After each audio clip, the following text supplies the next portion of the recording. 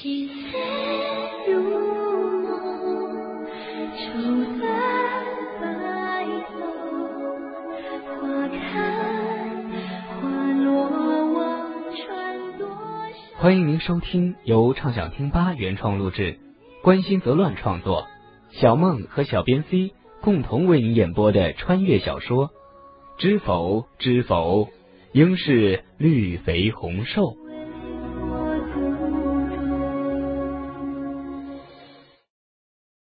三百三十集。这几日，我觉得身上都快痒出虫来了，连去园子里多坐一会儿，嫂嫂都不肯呢。小沈氏大吐苦水，明兰细细端详他，只见他面色圆润，气色甚好，就是一脸无聊。小沈氏压低声音：“我觉着嫂嫂也是太小心了。当年皇上还在藩时，我见过那儿的妇人，肚子老大了，还到处跑呢，不照样生出活蹦乱跳的娃娃来？还有二三品的诰命妇人，快临盆前半个月还在游园呢，偏京城规矩多。明兰正色教训：人家夫人出门游园都规规矩矩的端坐吃茶，你是猢狲投的胎，一出了这门儿能老实得了？你嫂嫂这是摸清了你的秉性呢。这话倒也有七八分真。小沈氏叹了口气，明兰瞧他懊丧的样子有趣，伸手指点他的额头，打趣道：“你且老实待着吧，何况这肚里的孩儿又不是你一人的，哪容你使性子？”小沈氏粉面微红，小声道：“我晓得，为了这孩儿，相公也是。”明兰故作惊愕。我是说你婆婆和嫂嫂，为了你们有孕，拜了多少菩萨，念了多少经，又许了多少香油钱，你想到哪里去了？嗯，不过小镇将军也的确出力不少。小沈氏羞不可抑，向明兰丢了一个软垫，又想扑过去掐她的嘴。明兰连连叨扰。别动，别动！你如今可金贵着，倘掉了根头发丝，我就是剃成个秃子，怕也还不起。小沈氏拿他没办法，又不敢轻举妄动，只能抖着手指：“你你。”郑大夫人在外头听见里面的笑闹，微笑着摇摇头，迈步进来道：“你们俩多大了？我才出去了半刻，也能玩成这样？说什么坏话呢？”还把左右都屏退了。小沈氏连忙坐好，不敢乱动。明兰见郑夫人身后跟着一位中年妇人，便温和的问道：“嫂嫂，这位是？”郑大夫人指着那妇人：“这是我娘家表姐，早年是在外地的，如今儿女都在京城落了户，便接了他们老两口来享福。”小沈氏似是认识他，笑着叫了声表姐，却并未起身。明兰点了点头，笑着连声道：“快请坐。”再有侍婢来奉茶。那表姐穿戴并不起眼，长相甚至还有些土气，但举止倒落落大方，毫不露怯，嗓门也不小。瞧这话说的，你们是富贵人，我是乡下人，小户人家那点子郎当。在几位贵人眼里还不够笑话的呢。郑大夫人似乎并不讨厌这位表姐，还十分和气道：“不论大户小户，对父母的孝心才是首要的。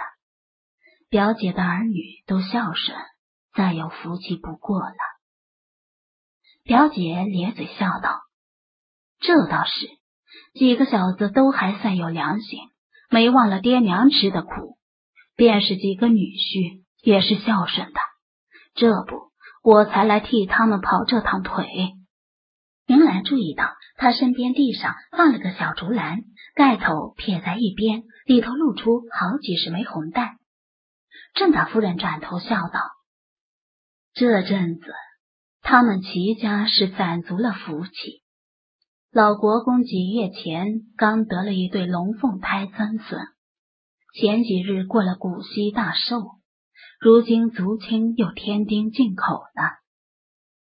看明兰一脸迷茫，又补充道：“我这表姐的闺女嫁了国公府的旁支。”明兰一听齐国公府，顿时眉头跳了一跳，脸上笑道：“真是恭喜了。”心里却道。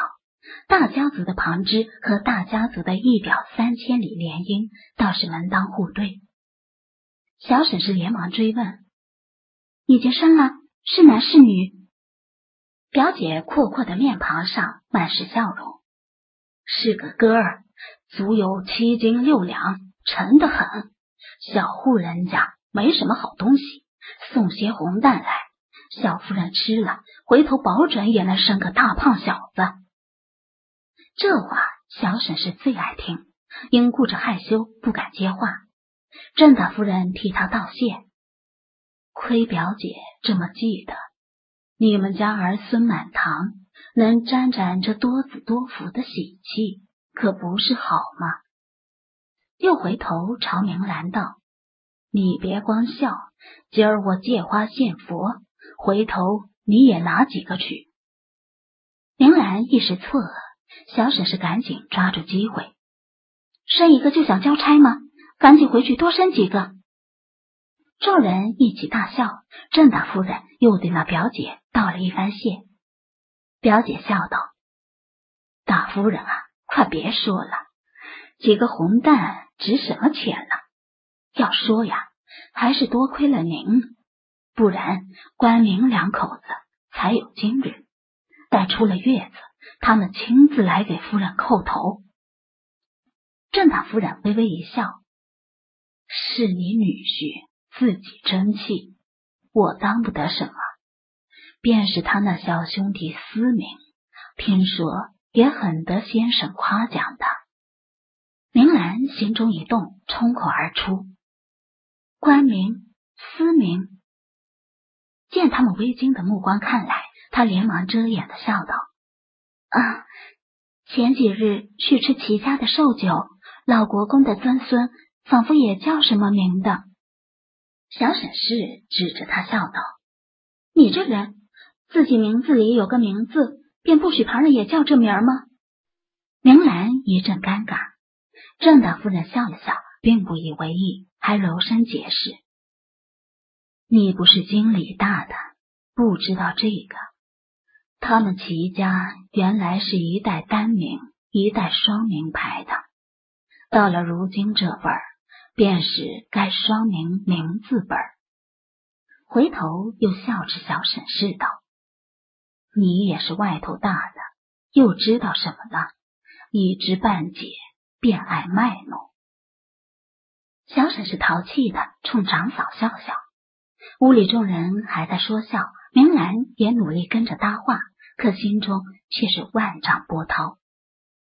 齐恒儿女名字中的那个名字和自己根本没有关系。这件事他不知道，绅士是知道的，他是故意的，自己被阴了。绅士的日子并不坏，唯一美中不足的不过是丈夫的心不在他身上，他自己不痛快。也不想让别人痛快。他说那么一番话，非但无中生有，且难抓把柄。他若自己知道内情，还能抵挡一二；偏自己全不知齐家的排辈，兼着心虚，便一脚踏了进去。说到底，绅士只是想叫明兰知道他很憋屈，顺带让明兰也憋屈一把。好一个清风拂面！端庄大方的齐绅士，他算认识了。可接下来，另一个疑问也浮上水面，一个更大、更麻烦的疑问。直到吃晚饭，明兰还在怔怔的看顾廷烨，头疼这个问题由此出神中。顾廷烨是京城长大的，连河东府的陈年典故都知道，岂会不知齐家的排辈？既然齐恒儿女名字中的名字并非因为自己，那他为什么生气？难道是玉字和汉字合起来像遗憾二字的谐音？不对，比如今日碰上的表姐，她的女婿两兄弟，一个叫关明，一个叫思明，难道是为了看自己思念自己？而他们的老爹给儿子们起这个名字，难道也和自己青梅竹马呢？既然齐家牌辈中有“明”这个字，便避免不了类似含义。顾廷烨是豁达之人，不至于心胸狭窄到这个地步。明兰只觉他并非因为名字之事而跟自己赌气。思绪乱走之间，明兰突然发现自己冤枉了齐恒。难道要齐恒为了避嫌，非得给自己儿女取名叫聪明、发明什么的？才算撇清。阿弥陀佛，希望他继续保持脑袋清楚，可千万别给孩子们改名字呀。顾廷烨觉着今日吃饭，明兰特别的安静，似乎魂不守舍，脸上一会儿苦苦思索，一会儿皱眉犹疑，表情十分纠结，并且光吃白饭也不知在想什么。他颇觉有趣，伸手点向他唇角的饭粒，微笑道。想什么呢？饭也不好好吃。明兰惊醒，发觉自己面前的饭粒掉了一地，很是不好意思。不是，是这话题怎么说呢？貌似也没什么可说的。随即他摇摇头，没想什么。侯爷，今日这甲鱼汤极好，你多喝一碗吧。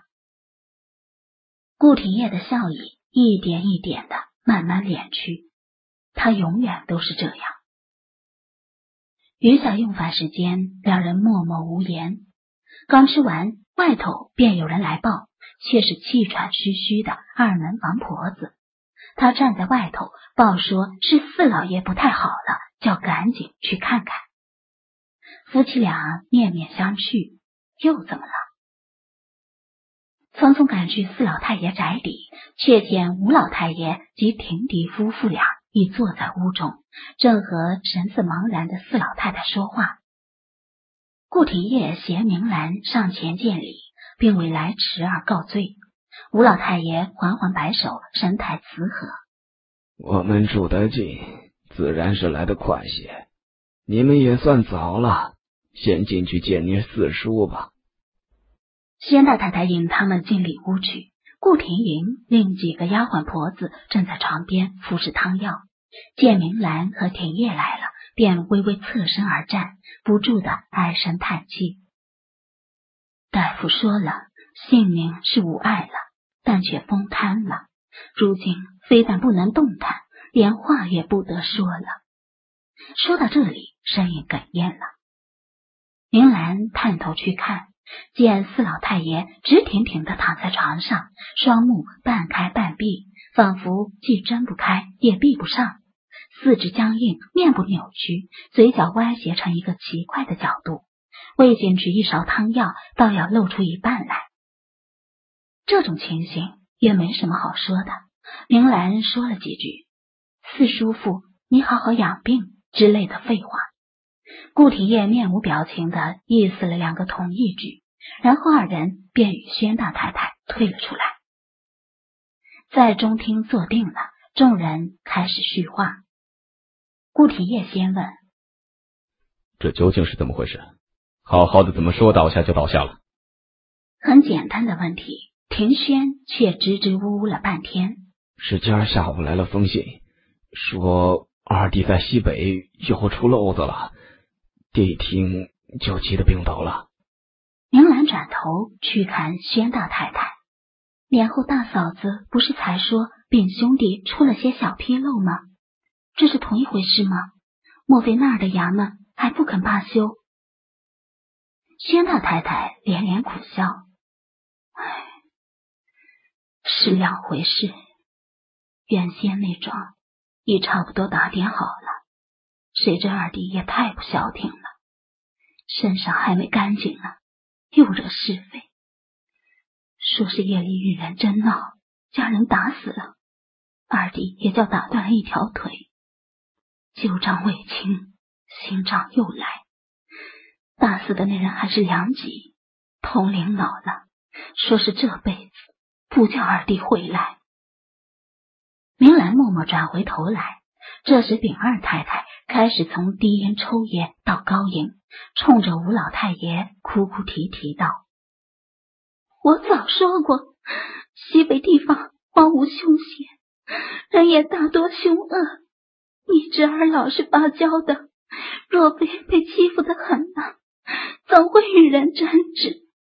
他话还没说完，顾廷烨便打断道：“丙二哥是住在流放所里的，因使了银子打点人脉，日常连劳作也不用，一时等均有小字仆役打点，便是白日闲了出去逛逛，夜里也该回去了。怎么夜里打死了人？”大酒场一别。